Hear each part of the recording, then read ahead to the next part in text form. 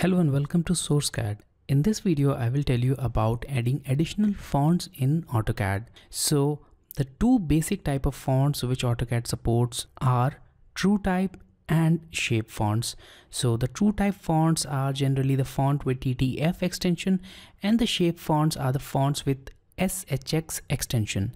Although all the fonts in AutoCAD are fetched directly from the Windows installation and the TrueType fonts which are present in your installation directory of the window will be used with AutoCAD also.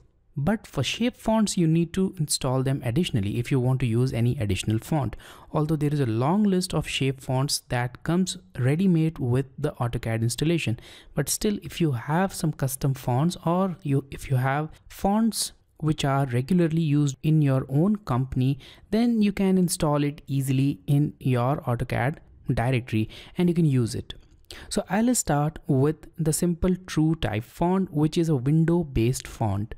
So I have got some fonts on the desktop. So I'll first minimize this window and now I'll go to this desktop. Now here we have this Playball font. Now this is the font which is not generally available with the Windows installation and I'll install it directly in the window. So in order to install it, simply right click on the font and select install. And it's as easy as that. The font is installed. Now let's look at the AutoCAD window and here I will restart the session. So I'll close this complete window of AutoCAD without changing anything and I'll start it once again. So now our drawing is open. Let's use the playball font which we just installed to make a text. So I'll go to this text drop down and I'll select multi-line text and I'll make a text box here. Now let's write the text here. So I'll type AutoCAD 2018 now we need to change its font. So let's select it all. Go to this drop down and let's look for Playball And here we have it. So we have this new font in our list. And when you select it, the font will be directly applied to the text. Let's click outside and here we have it. So this was quite an easy way of installing the font. Now let's save this drawing. And now let's look at the method of installing the shape fonts. The shape fonts are a little different from these TrueType fonts and they cannot be directly installed. In order to install them, you need to copy the font file in the Autodesk directory and the font directory path is located deep within the Autodesk installation folder. So to find out the directory or the path where the fonts are stored, you need to go to the options. So click on this applications button and select options. Alternatively, you can also type OP and press enter for this options window. And now go to this files tab and expand this support file search path. Now, when you expand it, you'll see long list of these files. And from here, we have this fonts. Now, here is the path of the font, which is C program files, Autodesk, AutoCAD 2018 and fonts. So let's look at this path. So I'll open the C drive and program files, Autodesk, AutoCAD 2018 and fonts. Now these are all the fonts which are present in our drawing and in order to install any new font you have to copy paste new font file. So I'll minimize this folder and I'll also close this options window and let's minimize this window as well.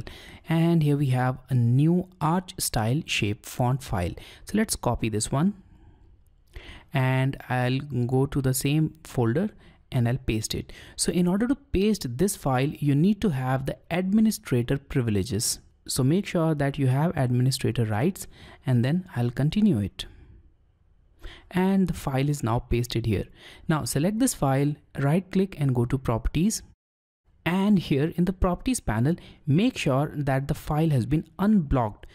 So in many cases, you may find that the file is blocked. So click on this unblock option, apply it. And if this warning message appears, just ignore it and click on OK. And here we have it.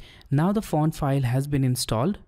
Let's close it and let's also close the complete session of AutoCAD. And I'll open a completely new session once again. So I'll double click on this fonts file.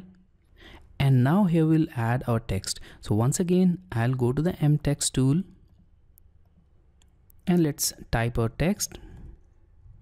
And in this case we'll select our shape font. So I'll select the complete text go to the drop down and let's select Archstyle so I'll go to the top of this list and here we have it so we have this Archstyle font the shape font and here it is let's click outside to apply the settings and the font has been installed now in both the cases, the fonts are not the native fonts of the Windows or of AutoCAD. In both the cases, the fonts are directly installed on your PC. And if you transfer this drawing, the receiver of this file will not be able to find these fonts and the file may show an error or in many cases a replacement font will be used. So if you are transferring this file using eTransmit, then make sure that you embed the font in your eTransmit package. So to do that, simply click on this application, go to publish, select eTransmit, and obviously we need to save the drawing first. So I'll click on yes to save the drawing. And now click on this transmittal setups, modify, and here make sure this include fonts option is checked. So make sure this is checked. It's quite important in order to capture all the additional fonts which you have included. Now click on ok and you are good to go. You can obviously now transmit this package. Now if you are trying to plot this drawing as a pdf then also you can capture the true type font. But pdf files don't support the shape fonts. And if you want to include shape fonts in the PDF file you can convert them into geometry. So for that I'll simply click on this plot. And now I'll select the PDF option here DWG to PDF.PC3 plotter. Now click on the PDF options. And in this case make sure that capture fonts used in the drawing is selected so using this option you will be able to capture all the true type fonts in the drawing and they will be captured in the PDF file. But if you want to capture the shape fonts also, then you can uncheck this option and select it. Now in this case, the shape fonts will be converted into geometries and then you can transfer those fonts also. So in this case, make sure convert all text to geometry is checked. Now click on OK and you are good to go with the plot. You can plot it. So this was all about adding additional fonts, the true type and shape fonts in your AutoCAD drawing.